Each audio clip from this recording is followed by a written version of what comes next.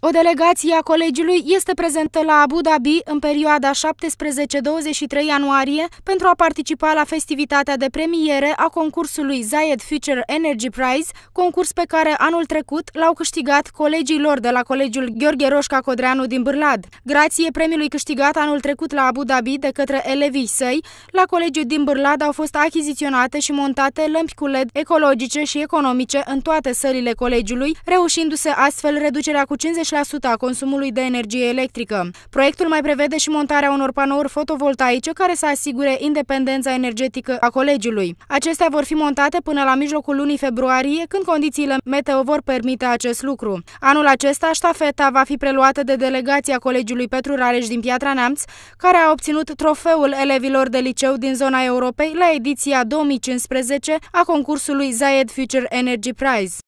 Acest premiu este cea mai mare realizare din istoria școlii noastre, iar întreaga echipă, cadre didactice și studenți, este foarte mândră că am făcut un astfel de proiect. Vom avea posibilitatea de a utiliza premiul pentru a stabili Colegiul Național Petru Rareș ca fiind o școală de conducere creativă pentru dezvoltarea durabilă și conservarea mediului. Cinci școli de la cinci regiuni la nivel global, fiecare a primit 100.000 de dolari pentru a finanța proiecte de sustenabilitate propuse.